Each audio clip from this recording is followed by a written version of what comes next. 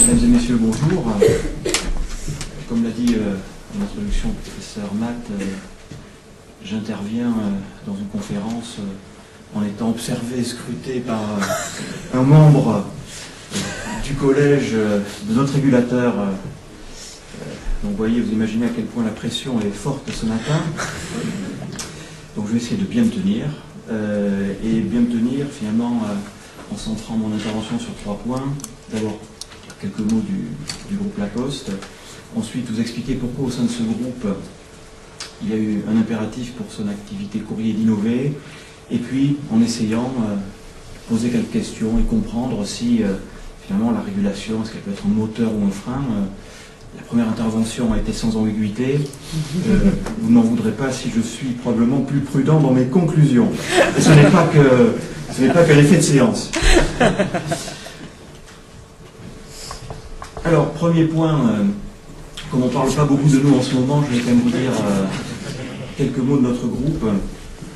Et avant de vous en rappeler quelques chiffres clés, euh, c'est vrai qu'on est conscient que l'actualité en France ces dernières semaines nous a souvent mis sur le devant de la scène, puisque vous savez, comme vous savez, il y a un projet de loi qui euh, sera, passera devant l'Assemblée nationale fin décembre et qui devrait euh, conduire, sous toute vraisemblance, à un changement de statut pour la Poste et à la transformation de la Poste en une société anonyme à capitaux publics. Alors, euh, en ma qualité de directeur marketing commercial, il peut y avoir aussi dans la salle un certain nombre de clients.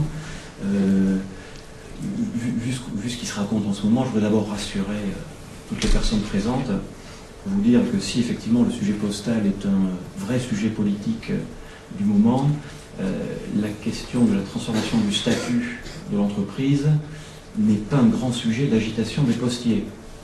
Euh, je crois que les postiers, dans leur très très grande majorité, ont bien compris à la fois les évolutions de, l'environnement dans lequel évolue notre groupe, marqué par à la fois des, on va dire, des ruptures technologiques qui impactent notre métier, par l'arrivée euh, progressive euh, et sans ambiguïté de la concurrence. Et donc, les postiers sont, euh, je crois, très majoritairement convaincus que ce changement de statut euh, euh, est absolument nécessaire pour l'entreprise. Et euh, en tout cas, je peux vous assurer que euh, c'est euh, dans la plus grande sérénité que tout ceci se prépare au sein de notre groupe. Alors, ce groupe, euh, j'ai souvent euh, l'occasion de dire qu'en réalité, c'est euh, peut-être à la fois le groupe le mieux connu des Français et le moins bien connu, parce que tout le monde a eu des expériences avec la Poste, mais on se rend compte à quel point c'est un groupe qui, au-delà de ses missions de service public, qui sont bien entendu fondamentales, est un groupe très tourné vers les entreprises, puisque l'essentiel de son chiffre d'affaires, notamment dans les branches courrier et les branches courrier express, provient des entreprises, que c'est un groupe qui a euh, petit à petit euh, pris une dimension internationale. À peu près 15% du chiffre d'affaires aujourd'hui euh, est réalisé en dehors de nos frontières. Et c'est un groupe effectivement qui a, je crois c'est important de le dire, l'avantage d'être multimétier, euh, ce qui nous différencie d'autres opérateurs postaux qui ont fait des choix différents. Nous, euh, notre, euh, notre raison d'être, c'est à la fois d'être un opérateur de courrier, d'être un opérateur de colis d'express, d'être un acteur important dans le métier de la banque, et le fait d'avoir ces trois métiers qui sont supportés par un réseau de points de contact dense et qui est le premier réseau de proximité en France. Voilà, donc le groupe La Poste, 20 milliards d'euros de chiffre d'affaires, 700 millions de résultats en 2008, un résultat qui sera, euh, même si euh, l'année 2009, comme pour beaucoup d'entreprises, est difficile, un résultat qui restera significativement positif en 2009. Et une activité courrier qui pèse encore euh, lourd, puisqu'elle pèse plus de 54% du chiffre d'affaires total. Cette activité courrier, quelles en sont les, grandes caractéristiques? Euh, D'abord, je vous disais que nos clients sont essentiellement les entreprises. 90% des volumes de courrier sont émis par les entreprises. Euh, ce qui veut dire que, contrario, euh, le courrier des particuliers, c'est moins de 10%, et euh, ce qui souvent dans l'inconscient collectif caractérise la poste, c'est-à-dire la lettre du particulier au particulier, c'est moins de 3% de nos volumes. Donc bien entendu, l'aide du particulier au particulier est très importante, elle est au cœur de nos missions, mais la politique du groupe ne peut pas être uniquement tournée vers ces clients-là. Alors le marché du courrier, euh, il a une caractéristique simple. Pendant euh, de longues décennies, c'est un marché en croissance. Si on regarde sur longue période, sur 30 ans, si on fait une moyenne, c'est un marché qui, euh, certes, il n'a pas connu des croissances à deux chiffres, mais il a connu une croissance régulière en moyenne de 2% par an. On a pris le milieu des années 70 comme date de référence parce que c'est vrai qu'au milieu des années 70, il y avait un certain nombre d'intellectuels qui avaient prédit euh, le zéro papier, euh, la mort du courrier qui allait être complètement remplacée à la fois par le téléphone et puis une, forme très évoluée qui s'appelait le fax. Donc on voit que les choses ne sont pas passées exactement comme euh, elles l'auraient dû selon ces personnes, et que donc le papier, le courrier papier a continué, le courrier physique a continué de se développer. Ceci étant, ça, c'est euh, l'histoire racontée sur une trentaine d'années. Si euh, on resserre notre scope d'analyse, on s'aperçoit en réalité que depuis le début des années 2000, c'est un marché qui a une dynamique euh, significativement différente. Et cette dynamique, je peux vous la résumer en trois temps. Période 2001-2007, on commence à voir des volumes de courrier en légère baisse, une moyenne de 1% par an. Alors c'est une moyenne parce que il y a eu des années, ça baissait un peu plus, des années où ça c'était stable, ça augmentait. Mais globalement, le trend, c'est une décroissance lente. 2008, premier choc, baisse de volume euh, de l'ordre de 3% par an. Et depuis le début de l'année, une baisse de volume qui est euh, supérieure à 5% par an. Pour vous donner quelques ordres de grandeur euh, en unité physique, durant la période 2001-2007, les volumes de courrier sont passés de 18 milliards d'objets distribués à 17 milliards 5. Fin 2008, en une année, passe à 17 milliards. Fin 2009, 16. Et il est probable que fin 2010, on sera à 15. Donc on voit qu'il y a là une, réelle rupture. On va revenir sur les causes. Sachant que euh, les experts du marché disent aujourd'hui qu'à l'horizon 2015, c'est un marché qui pourrait baisser d'environ 30%. Alors, pourquoi, euh, pourquoi ces évolutions euh, bien entendu il y a des explications conjoncturelles. on est comme tous les secteurs, il y a une crise économique extrêmement profonde. donc, le volume d'activité économique dans le pays forcément moindre. Il y a aussi une utilisation de médias concurrents. Et si on veut rentrer un petit peu plus dans le détail, on peut dire que finalement, il y a euh, trois, grands facteurs d'explication. Il y a d'abord des clients qui ont euh, rationalisé leur utilisation du courrier, notamment nos très grands clients qui pèsent euh, très lourd, puisque on peut dire aujourd'hui que on a une cinquantaine de grands groupes qui représentent à peu près 30% de l'activité du courrier. Je rappelle, le courrier, 11 euh, milliards d'euros de, chiffre d'affaires.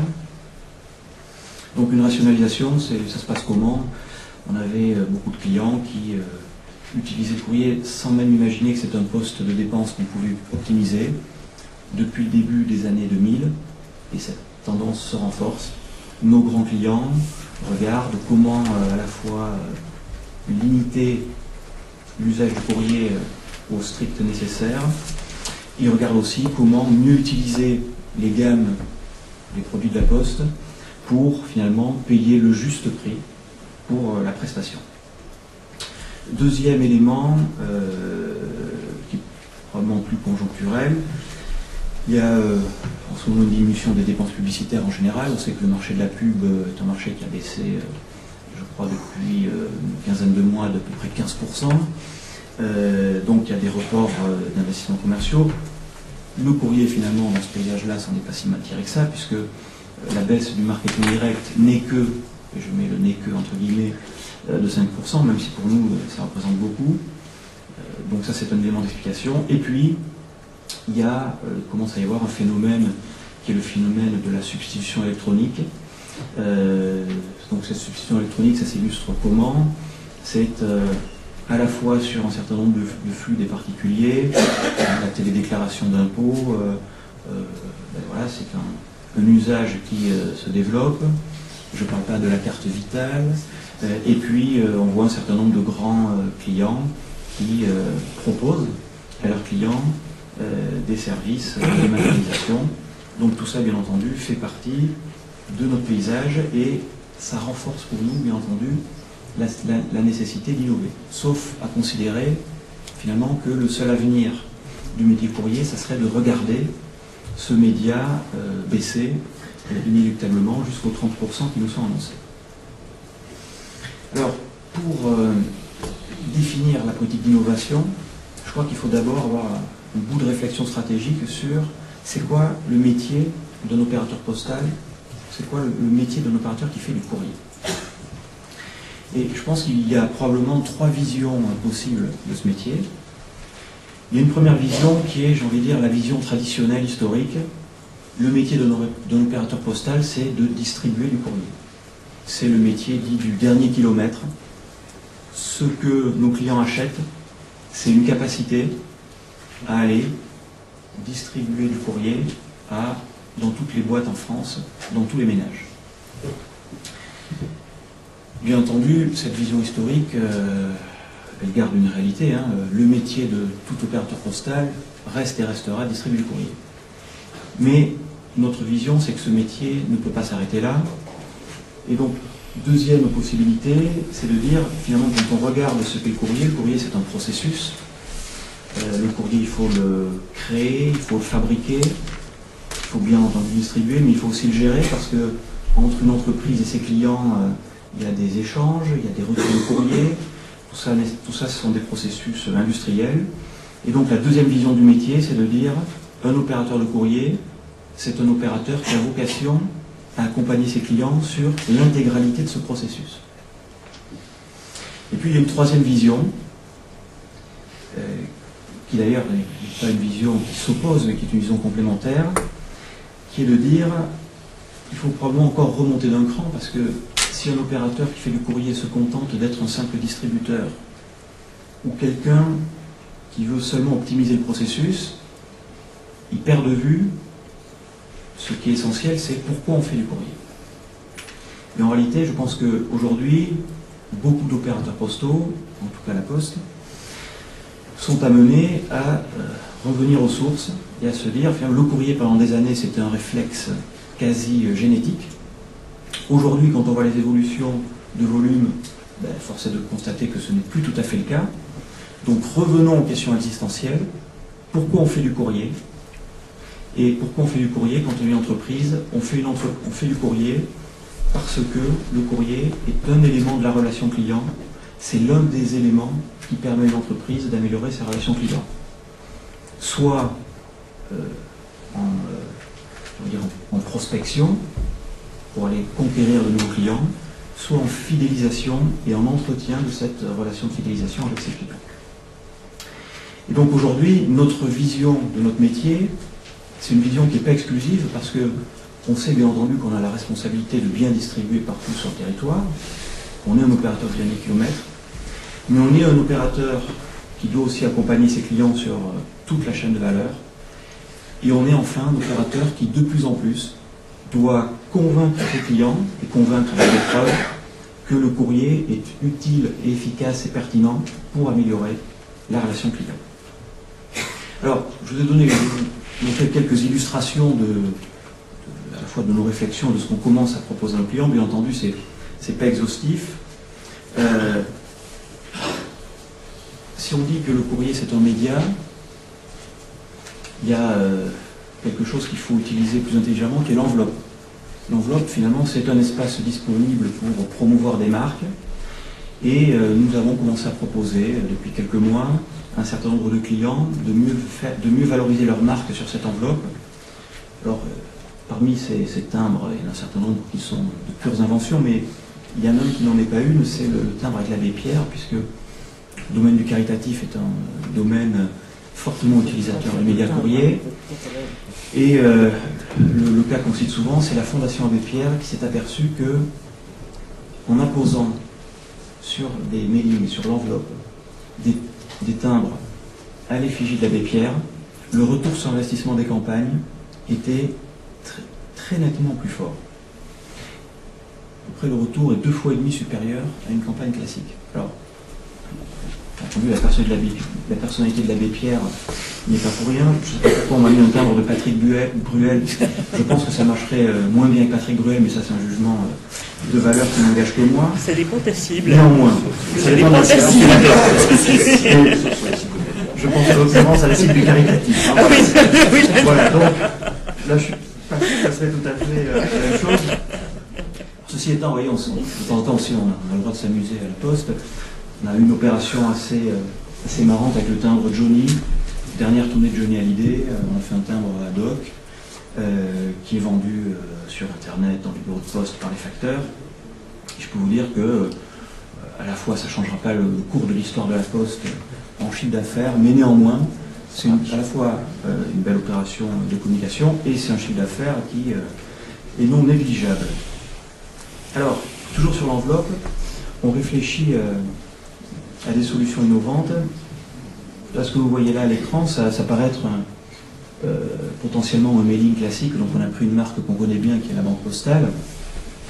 Et vous voyez là sur la, droite de l'écran, euh, vous demandez qu'est-ce que c'est que cette chose-là. Ça ressemble à une sorte de timbre. Alors, en réalité, c'est un, un timbre plastifié qu'on décolle.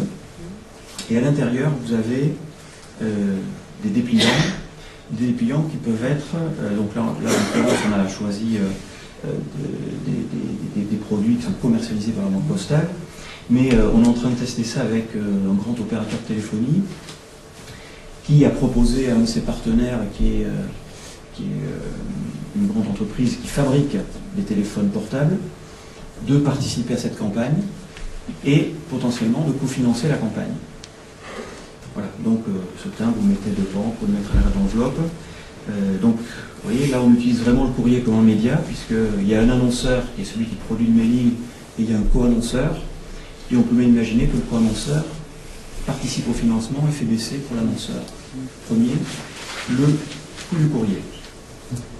Toujours dans euh, le registre des innovations, pour les utilisateurs de marketing direct, on a développé, on a lancé récemment un certain nombre d'offres dites de, cartes, donc une gamme qui s'appelle Cartemania, avec euh, notamment, euh, c'est euh, la première fois qu'on propose des offres qui sont mix, offres papier, offres digitales, puisqu'on a une, formule de carte qui est à la fois une, un mailing classique avec un CD-ROM qui vient illustrer le message du mailing, qui permet à l'utilisateur d'aller se connecter sur le net pour en savoir plus sur le produit qui est, qui est promu. On a aussi une formule qui consiste, à partir d'un site internet euh, que vous allez consulter, à suggérer euh, euh, à l'annonceur de contacter des personnes de votre connaissance pour faire connaître ses produits. Sur le contenu d'enveloppe, ça c'est un élément sur lequel on est en train de travailler qui est fondamental. J'ai envie de dire, à gauche vous avez le vieux courrier, à droite vous avez ce que doit être le nouveau courrier. Le vieux courrier c'est quoi? Vous avez donc, on, a pris euh, un, organisme de service financier factice qui s'appelle euh, Épargne du Futura.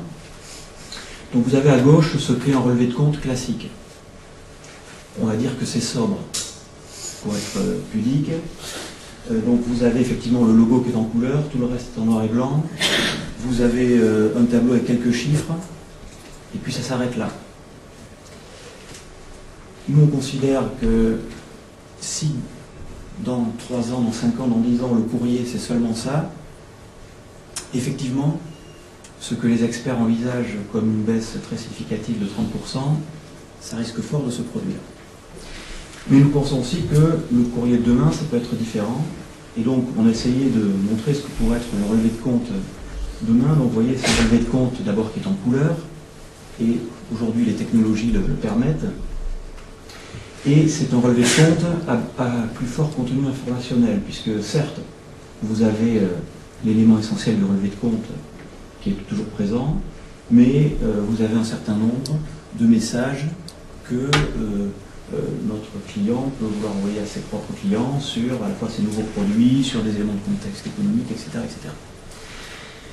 Et tout ça aujourd'hui, c'est techniquement possible parce que les technologies d'impression ont beaucoup évolué et moyennant euh, un petit travail sur les systèmes d'information, on doit pouvoir enrichir et personnaliser le courrier à destination des consommateurs. Dernier point pour montrer l'innovation. Euh, Joël disait euh, tout à l'heure en introduction que euh, dans les secteurs réguliers, il y en avait qui avaient plus ou moins investi. donc on le cas de la Poste qui avait été un gros investisseur. C'est vrai que nous avons investi, et nous finissons d'ailleurs notre plan de modernisation à la fin 2010, nous avons investi plus de 3 milliards d'euros pour moderniser nos infrastructures. La modernisation des infrastructures, c'est à la fois un certain nombre de machines qui permettent de trier le courrier automatiquement et de préparer la sacoche du facteur en évitant un certain nombre d'opérations manuelles, mais c'est aussi des systèmes d'information qui permettent finalement de capter l'intégralité des données qui sont sur une enveloppe. On a des lecteurs optiques très performants qui, chaque fois que le courrier passe en machine, permettent de capter à la fois le code barre et puis toutes les images qui sont contenues sur le courrier.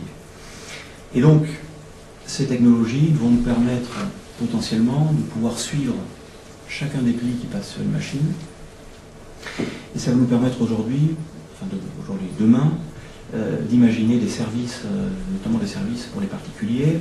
Je suppose que ça doit vous arriver de temps en temps de recevoir des lettres recommandées, toujours un moment euh, agréable et attendu avec impatience. Mais il peut arriver aussi que vous ne soyez pas à votre domicile quand le facteur passe. Donc vous avez un avis de passage. Et donc vous êtes réjoui de devoir vous déplacer le samedi matin pour aller retirer la lettre commandée. Même si on fait beaucoup de progrès en ce moment sur, sur, le, sur le temps d'attente, il n'empêche que le samedi matin, ça reste toujours quand même un exercice qui n'est pas le plus agréable du week-end. L'investissement qu'on a fait sur ces technologies nous permettra demain, dès le premier passage machine, d'identifier qu'il euh, y a une lettre recommandée à destination de Marc Pontet, et donc de fournir une préalerte euh, à Marc pour lui dire que normalement dans 24 heures il va recevoir une lettre recommandée, que euh, est-ce qu'il préfère la recevoir à son domicile, ailleurs, ou est-ce qu'il préfère la recevoir un autre jour?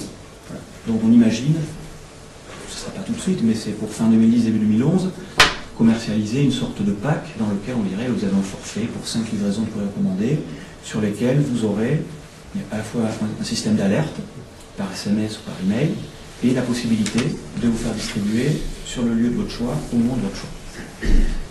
Voilà, donc vous voyez, on est sur un marché euh, à la fois très contraint, mais on est sur un marché sur lequel on pense qu'il y a un potentiel d'innovation, et surtout, je crois qu'un élément qui est très important, c'est que les fondamentaux du courrier sont extrêmement simples. Quand je dis fondamentaux du courrier, c'est le comportement des clients face à un courrier. Aujourd'hui, on sait que 95% des Français vont ouvrir leur boîte à lettres tous les jours. Ils ne sont pas obligés. Hein. On n'a pas mis un facteur électeur français pour le, pour le forcer. Donc, 95% des Français qui ouvrent une boîte tous les jours, si vous comparez aux autres médias, c'est potentiellement pour les annonceurs quelque chose de puissant. On sait aussi, quand on regarde à la fois les taux de lecture, les durées de conservation, que le média courrier reste un média pertinent. Donc, le potentiel est là. Si nous savons innover, nous pouvons euh, tirer notre épingle du jeu. Alors, bien entendu, nous pouvons tirer notre épingle du jeu, sachant que nous agissons sur un marché qui n'est pas un marché tout à fait classique. Donc, pour troisième partie de, de cet exposé, on a essayé de se poser la question, la régulation moteur ou frein à l'innovation. Alors d'abord, un rappel très rapide du, cadre, du cadre juridique réglementaire. La Poste, en tant qu'entreprise, on dire, épique, a été créée en 91. Euh, l'ouverture du marché était progressive avec, euh, on va dire, euh, quatre étapes. Première étape en 99, où sont ouverts à la concurrence tous les plis de plus de 350 grammes. 2003, 100 grammes. 2006, 50 grammes. Donc, ce qui veut dire que depuis 2006, on a à peu près la moitié du marché du courrier qui est ouvert à la concurrence. Et au 1er janvier 2011, le marché sera totalement libéralisé. Et en parallèle, on a eu en 2005 la création de l'ARCEP, ou plutôt la transformation de l'ART, qui était le régulateur des télécoms, en ARCEP, donc qui régule à la fois le secteur des télécommunications et le secteur postal. Et on aura un autre élément euh, du paysage que je vous décris, une évolution euh, importante pour nous, qui est euh, le changement de statut avec la transformation de la Poste en SA au 1er janvier 2010. Alors, la régulation, euh, Joël le disait en introduction, finalement, pour un opérateur comme la Poste, elle est double. Puisqu'on a une régulation du fait qu'on est un opérateur qui a des missions de service public, hein, on va dire en langage plus précis, on a des missions de service universel. Et puis, on a une régulation qui est plutôt euh, la conséquence du droit de la concurrence, qui est liée au fait que sur le marché du courrier, nous avons une position qui est une position dominante. Alors, si on rentre un peu dans le détail de cette régulation, euh, au titre de nos missions de service universel, quelles sont nos obligations? On a des obligations sur euh, la fourniture du service. Euh, on doit passer en tout point du territoire, donc collecter et distribuer 6 jours sur 7. Je voudrais faire un commentaire là-dessus. C'est à la fois une obligation qui est lourde et un atout. C'est une obligation qui est lourde parce que chacun comprendra que passer 6 jours sur 7 partout sur le territoire, si on raisonnait d'un strict point de vue économique, il y a probablement des endroits en France où on se poserait des questions. Et de notre côté, on pense que c'est un atout parce que si on distribuait deux, trois fois par semaine dans certaines zones, est-ce que nos clients auraient toujours envie de faire du courrier? Une vraie question. Et quand on discute avec nos très grands clients, les très grands clients sont exigeants, ils nous mettent une pression très forte sur les prix, ces très grands clients, ils disent quand même, le fait qu'on sache que vous passez partout sur le territoire et que vous le faites tous les jours de la semaine, on se dit que ça renforce probablement l'efficacité des volumes de courrier qu'on vous confie. Deuxième euh, type d'obligation, nous avons les obligations tarifaires, puisque nous avons, euh, je dirais, euh, pour résumer, à la fois un encadrement global sur les prix au travers de ce qu'on appelle un price cap. Le price cap, c'est un dispositif euh, sur trois ans sur lequel euh, le régulateur euh, nous donne un certain nombre d'obligations ou, fixe un plafond d'évolution de nos tarifs, soit sur l'ensemble de nos prestations, soit sur des paniers segmentés. Et puis, nous avons un processus où, pour un certain nombre d'offres, au-delà de ce price cap, le régulateur donne euh, une homologation au coup par coup. Nous avons des obligations euh, particulières au plan euh, comptable, et puis nous avons aussi des obligations par rapport au service rendu aux clients. Ça, c'est tout à fait normal. On a une mission de service public. C'est normal que la qualité de la prestation de celui qui est en charge de cette mission soit à la fois contrôlée, d'une part, et bien entendu, soit rendue publique. Ça fait tout à fait partie Oula. du Oula. jeu. Là, ça fait pas partie du jeu. Donc, la batterie.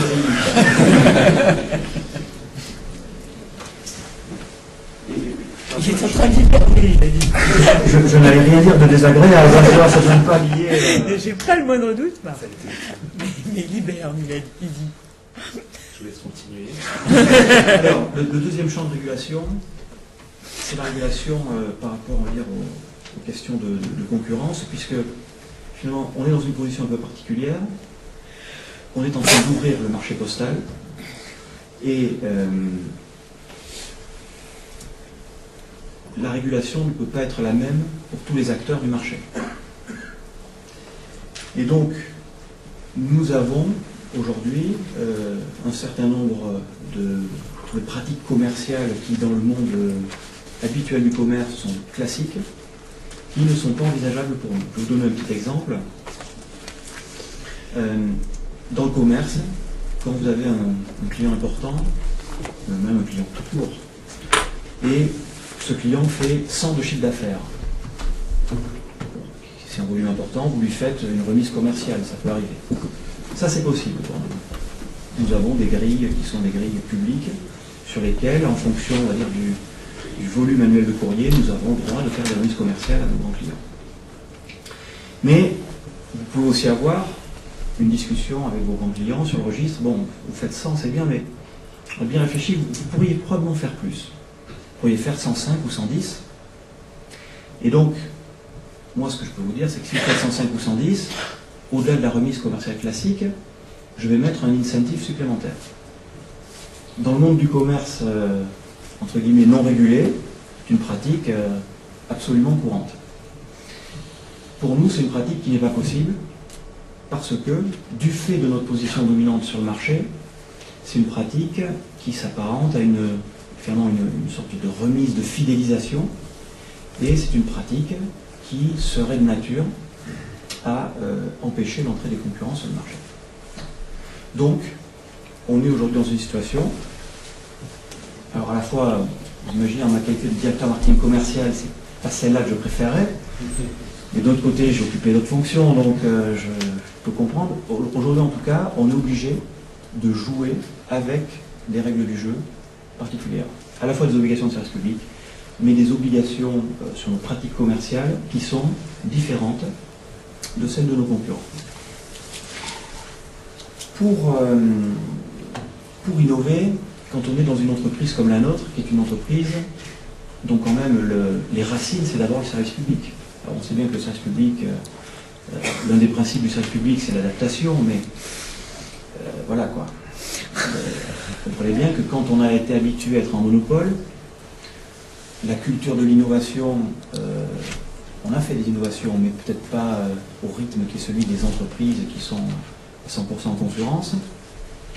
Et donc, le premier défi pour une entreprise qui vient de cet univers-là, c'est d'abord un défi sur elle-même.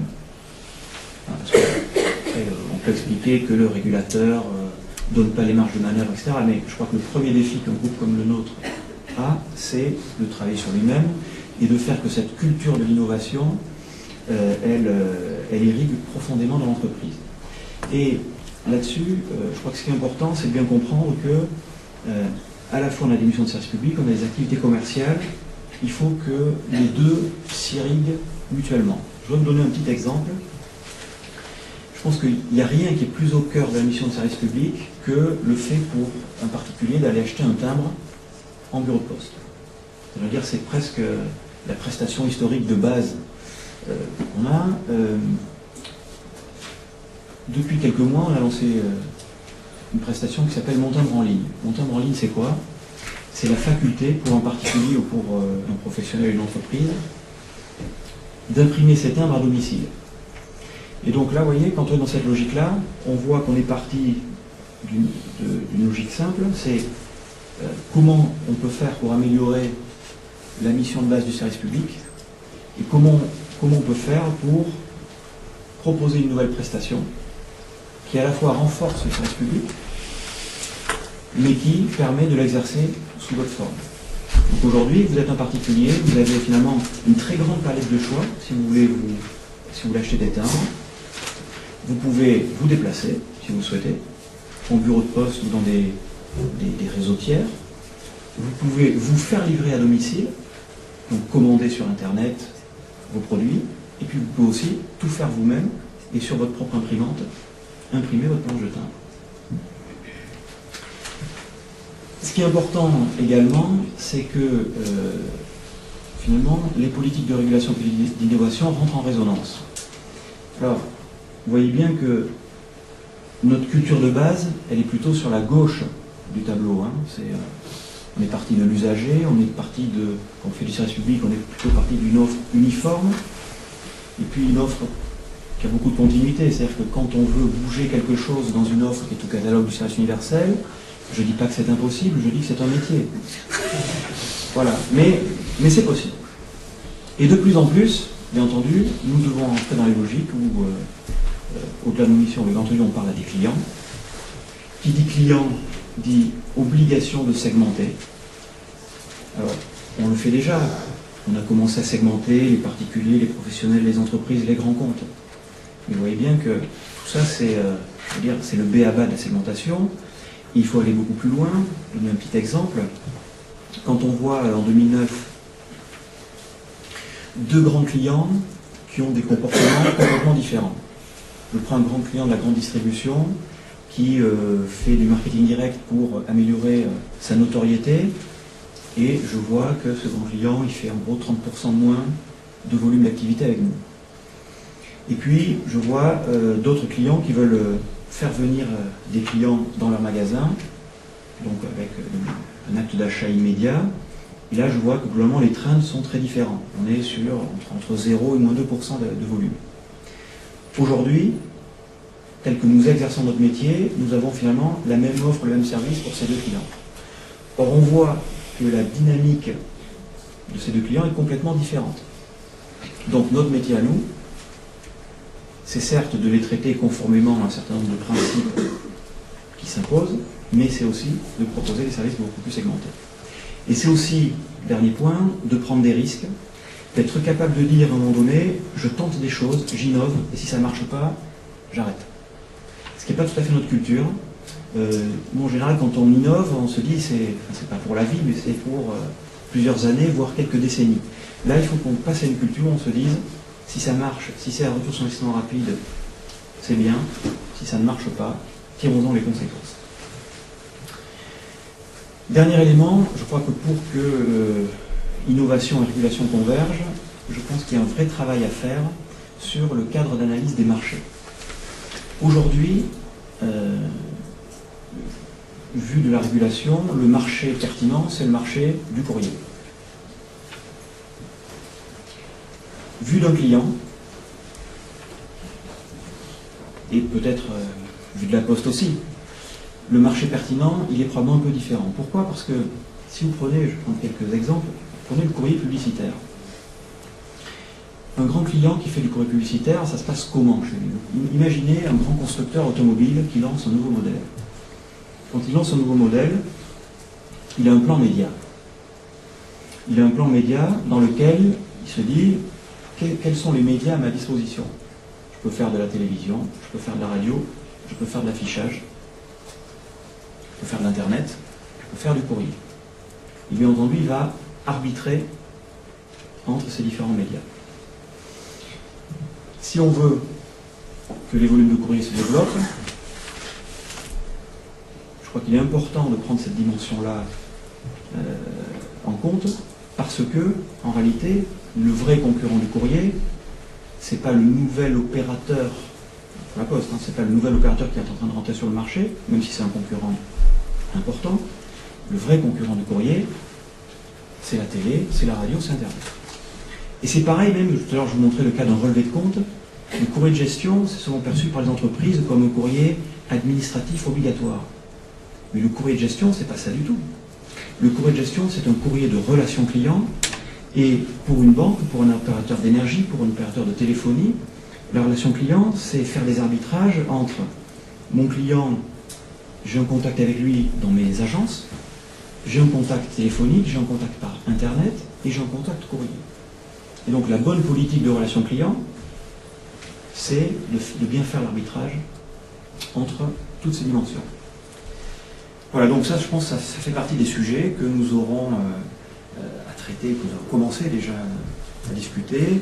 Et donc, en conclusion très rapide, hein, je crois que, je vais insister là-dessus, je pense qu'en matière d'innovation, la responsabilité première incombe à l'opérateur, mais on voit bien que la régulation est un rôle essentiel, parce qu'elle peut soit contribuer, soit freiner une politique d'innovation. Je ne doute pas euh, qu'en France, on sera dans le premier cas de figure. Et je constate aussi quand même que sur un certain nombre de marchés, euh, qu'on est plutôt bien, on peut considérer aussi qu'il est arrivé au régulateur, euh, peut-être pas d'être un frein, mais en tout cas d'arriver à des situations beaucoup plus compliquées sur le marché. Je pense notamment au cas britannique, où finalement, en Grande-Bretagne, on arrive à une situation où euh, le marché est libéralisé euh, complètement depuis quelques années, et finalement tout le monde est mécontent. À la fois euh, l'opérateur dominant, les concurrents ne sont pas très satisfaits du mode de concurrence qu'il y a sur le marché, et les clients n'ont pas l'air très heureux. Alors en il y a des problèmes sociaux importants en Grande-Bretagne, mais ils ne considèrent pas que l'innovation sur ce marché est absolument au top niveau. Voilà ce que je pouvais vous dire concernant le secteur postal. Merci.